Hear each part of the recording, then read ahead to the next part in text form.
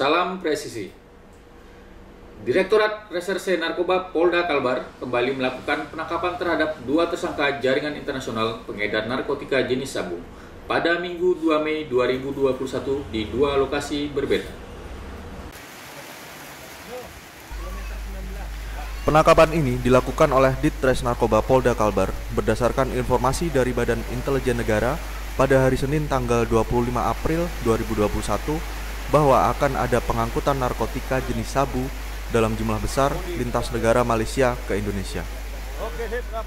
Berbekal dari informasi tersebut, Kasubdit 3 beserta tim lidik berkoordinasi dan bersinergi bersama dengan tim IT Ditres Narkoba, Satgas Pamtas Yonif 642 Kapuas, Bais TNI, Intel Kodim, BNP Sanggau, dan Kejaksaan Negeri Sanggau untuk kemudian dibentuk tim Satgas Gabungan yang terdiri dari dua tim.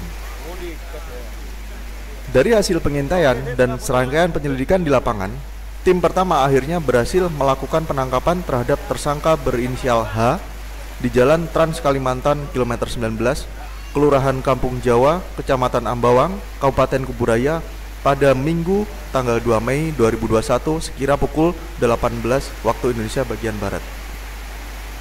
Dari tangan tersangka H, Tim mengamankan narkoba jenis sabu dengan berat 5.000 gram yang disembunyikan dalam bodi motor.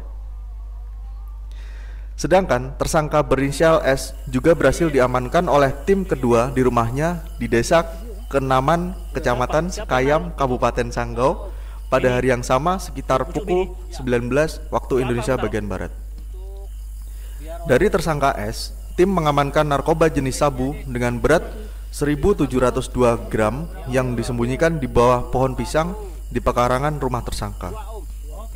Saat ini, kedua tersangka telah diamankan di Mako di Tres Narkoba Polda Kalbar untuk menjalani penyidikan lebih lanjut.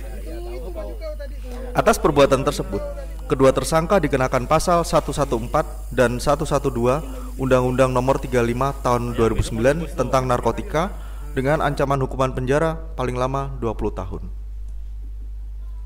Demikian berita ini kami sampaikan. Salam presisi.